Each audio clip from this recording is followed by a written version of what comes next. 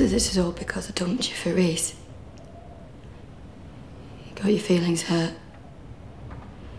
Is that it? Payback? Hmm?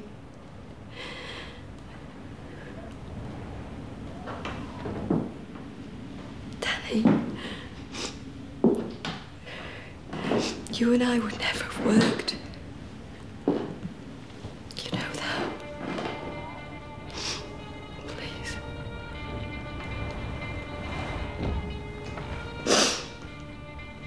Sorry, I'm sorry. I should have been straight with you. I see that now, I do, I see. I'm just, I'm sorry.